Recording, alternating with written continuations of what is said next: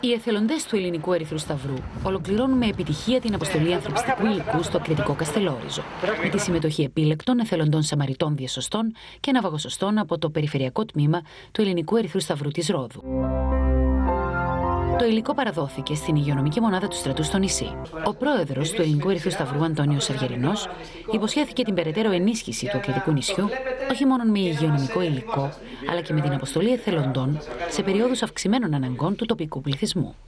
Ο Ελληνικός Ερυθρός Σταυρός, έχοντας να επιτελέσει ένα μεγάλο ανθρωπιστικό έργο, το οποίο βεβαίως στην Ελλάδα είναι διαχρονικό επί 140 χρόνια, και θέλοντας να φανεί αντάξιος και τον σκοπό της ίδρυσής του και των θεμελιωδών αρχών του, επέλεξε αυτές τις ακριτικές περιοχές να τις στηρίξει, να τις υποστηρίξει και πραγματικά να είναι εσαΐ δίπλα σε αυτούς τους ανθρώπους που φυλάνε θερμοπύλες.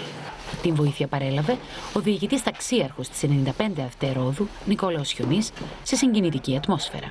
Ευχαριστούμε πάρα πολύ για την προσφορά σας είναι ιδιαίτερα σημαντική. Σας ευχαριστούμε πάρα πολύ και για το έργο που επιτελείτε και για την προσφορά σας και σας διαβεβαιώνουμε ότι θα φανούμε αντάξει των προσδοκιών όχι μόνο των δικών σας αλλά και όλου του ελληνικού λαού. Ο ιατρικός εξοπλισμός περιλαμβάνει αυτόματο εξωτερικό απεινιδωτή για καρδιοπνευμονική ανεζωογόνηση, σανίδα κινητοποίησης με κινητοποιητή κεφαλής και ημάντες ακινητοποίησης, φορείο πρώτων βοηθειών, καθώς και πρόπλασμα ενήλικα για εκπαίδευση στις πρώτες βοήθειες.